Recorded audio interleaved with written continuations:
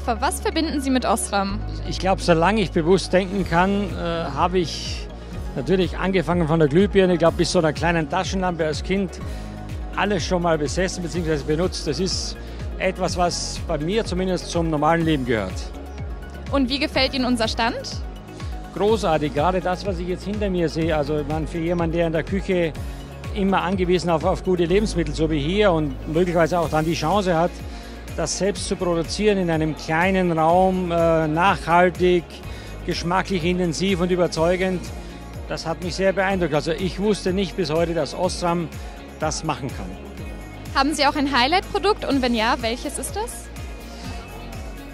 Ja, also zunächst mal ist es natürlich speziell jetzt für mich das, was ich hier im Hintergrund sehe, nämlich das Züchten von Gemüse oder Kräutern oder Salat, weil ich natürlich äh, weiß, dass irgendwann natürlich die Fläche dieser Welt nicht mehr ausreichen wird, um Menschen mit Produkten zu ernähren, die von der Natur alleine kommen.